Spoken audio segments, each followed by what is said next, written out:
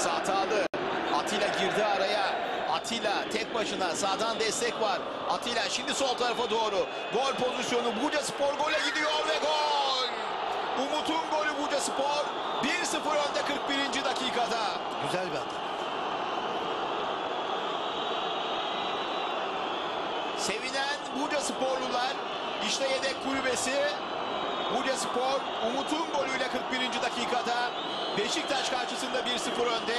Oğuzhan'ın hatası Buca Spor bu hatayı affetmedi. Savunma az adamla yakalandı. Çıkarken yakalanınca Beşiktaş tam baskı kurmaya başlamıştı ki kaptırdıkları ilk topta bir bireysel hata. İşte en büyük sıkıntı yalnız gol çıkarken burada, kaptırılan gol toplar. burada şu pası veren oyuncunun. Yani çok doğru yere pas verdi.